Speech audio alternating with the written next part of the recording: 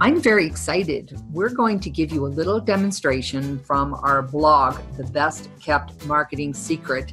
And we're actually going to show you how you can use a slide presentation and upload it to what's our best kept secret? SlideShare!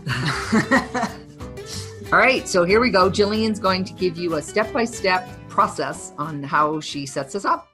So the first thing we start at is the SlideShare screen, and we are logged in as Launch4Life. So if you are an individual, you'll set up an individual account, but if you're a company, you can set up a company account. So that's kind of nice. We haven't really spent the time to go in and fill out our profile, so we'll do that later, but that's probably a good thing before you have your whole SlideShare go live.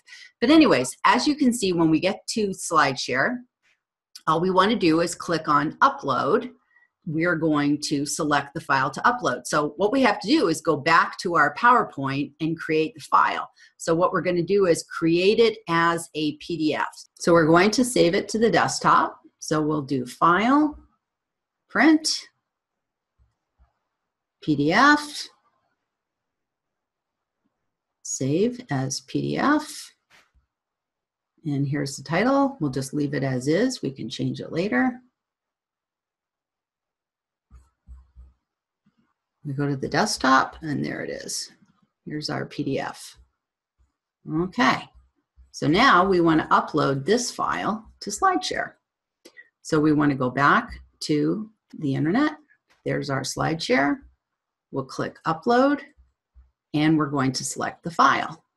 So our file is on the desktop. Graphics, webinar, PowerPoint, final. Choose. We're uploading it. Well, that was pretty easy. Mm-hmm. It's going pretty fast. I think if you were going to do a PowerPoint, you'd want to make sure that you had something that really told the story. Exactly. That this is a time when you don't necessarily need somebody behind it speaking, so the webinar or so the PowerPoint should be doing the talking. And so here we can change the title to whatever we want. So we'll call it Graphics 101. That's 201. Oops, 101. And we can even put the subtitle Marketing Your Message with Graphics. And we can put a description, webinar about new graphics course for marketers and we can make it public. So we leave it public, but we see that we can make it private, that only people with the link can see it, or private only to me. So we can even play around with that. But we're going to go ahead and make it public. We see here there's a category. So we probably choose business, but we can go through and see, you know, oh, there's there social media down there. Investors, there's law, marketing, marketing. Um, maybe marketing is better. Mm-hmm. It's a little bit more. And then tags would be keywords. So maybe we would put graphics, we could put um, social media. Um, what else? Marketing. Probably enough for now. And then as you can see, as I'm doing different things, it's giving me a score of like how well people will find it. So we might put uh, uh, royalty free images because we know that's talked about it. So we can add different things. Oh, okay, that was a trick.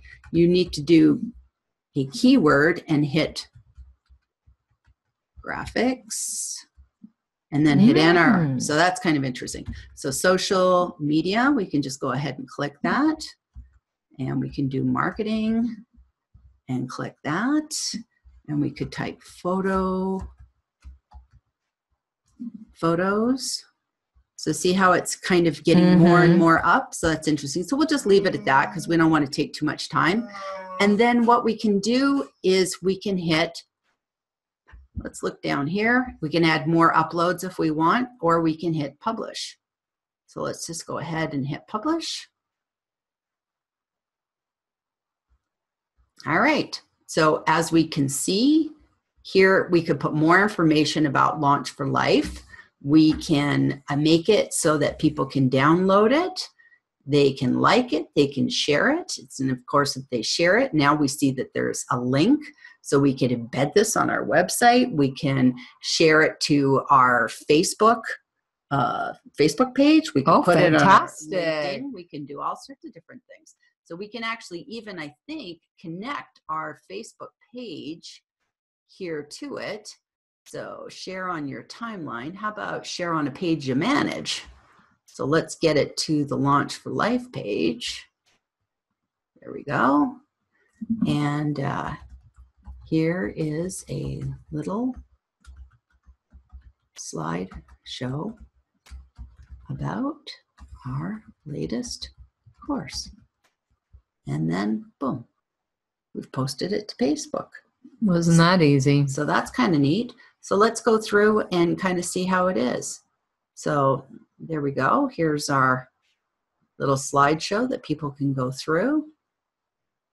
And one of the nice things is make sure at the end that you always have a call to action hmm Definitely. Definitely. so people know how to contact you. And you see that people can make it large.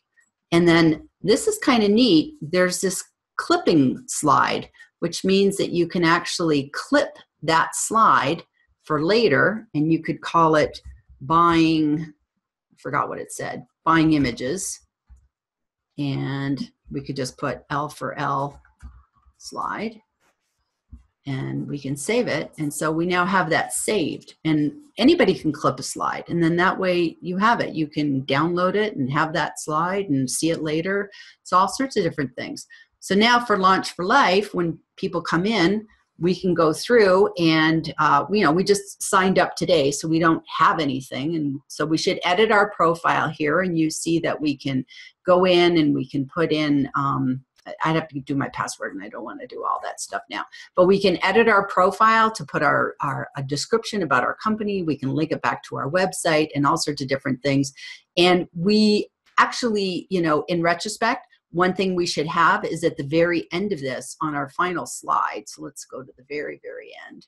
On our final slide we should have a call to action right here. Mhm. And then that way it would you know link back to our website or something like this. So this was just a test for today just to show you how so we, we need to do some fixes before we actually are, are good with this. But it just kind of shows you it's not that hard and it's really very easy to do correct?